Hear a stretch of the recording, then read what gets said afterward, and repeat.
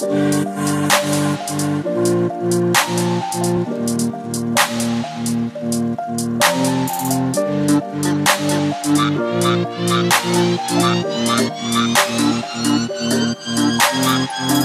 I was seven years old, my mama told me, Go make yourself some friends or you'll be lonely. Once I was seven years old.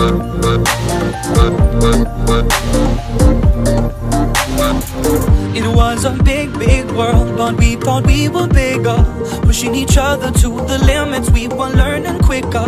By 11, smoking herb and drinking burning liquor. Never rich, so we were out to make that steady figure. Once I was